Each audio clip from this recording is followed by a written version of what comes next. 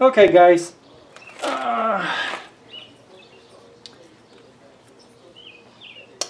had a seizure, four point seizure. It was, uh, I guess the weather changed, leaned it out just enough to get a four point seizure. It's not, you can just barely feel. Um, it's not bad enough for a rebore. So what I'm going to do is just put a new piston in with rings. So uh, a lot of guys don't understand if you're honing for a re-ring or for a new piston, whatever. Um, they think you got to hone it and hone it and hone it like crazy to get all these scratches out. You don't. All it does is give you extra extra clearance. It's not going to make a huge difference. There's going to be enough oil in there to fill those in and the piston's traveling fast enough that you're really not going to lose that much compression. So it's going to be fine. All you're really doing with this is you just want to re-scratch the surface. You really don't want to tear any metal out or hone any metal out. You just want to re-scratch the surface so the new rings can seat. It's not a big deal.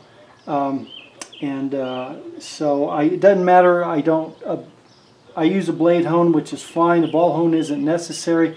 Like I said, all we're doing really is just uh, putting some new scratches in the cylinder. So as lubricant, just a little spray of, uh, I use liquid wrench. And just a regular blade hone. And like I said, you're not trying to remove metal, just re-scratch the bore.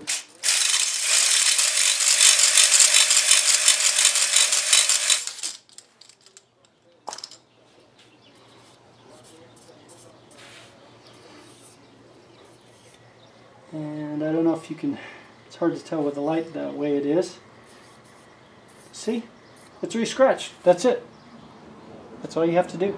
So there it is. Just you got to clean really well and uh, clean the cylinder really well. Hot water, soapy water, and make sure when you when you're checking it, get a brand new paper towel, run it really hard against there. If it comes out white, you're good. If it comes out dirty, you need to scrub some more.